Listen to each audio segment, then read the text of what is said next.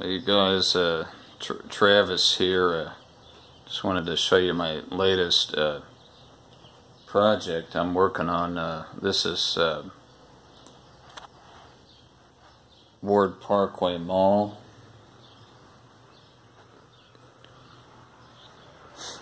I actually I built this a few years ago out of Lego. I'm rebuilding it once again. This is how it was in the 1990s, about 1993, I would say, to be exact. Um, they had a four-story Dillard's there with an attached parking garage. That was on the south end of the mall. They had a Winstead's there. Um, on this end, they had a Montgomery Ward if you remember those, I don't think those are around anymore. Montgomery Ward. Come around here, you have the AMC theaters.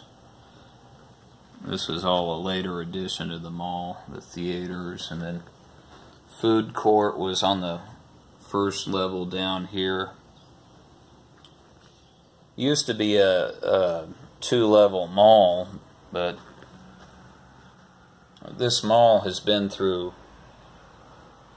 many changes over the years. Uh, originally built in 1959 as an open air mall, and then it was later fully enclosed, um, full enclosed mall in about the 1960s. And since then, they've had probably about a dozen different changes, renovations, and um, it pretty much doesn't look like the same mall like it like it did uh, about 20 years ago. It pretty much looks like a strip mall now, but I'm building it how it was from how I remember it when I was growing up in the late 80s and early 90s, early to mid 1990s.